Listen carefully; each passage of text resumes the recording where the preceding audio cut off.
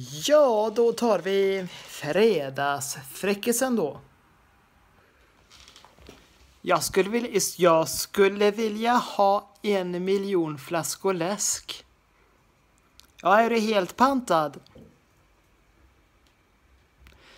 Eh, Ella ser grannpojken sitta på trappan och gråta. Vad har hänt lille vän? frågar hon. Det är pappa, snyftar pojken. Han slog mig på tummen med en hammare.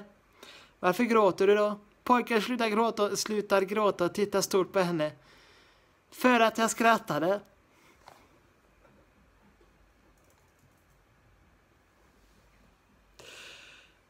Ja. Några grabbar skulle ha en lördags, skulle, skulle en lördagsnatt köpa preventivmedel i, i automat. En enkrona råkar fasta och det börjar slå, slå bultar på automaten. Hyresgästen ovanpå vaknar och tror att det är tjuvar och springer ner i bara pyjamasen för att se efter. Grabbarna får syn på honom. Den ene säger bäst vi flyttar på oss. Här är en som verkligen har bråttom.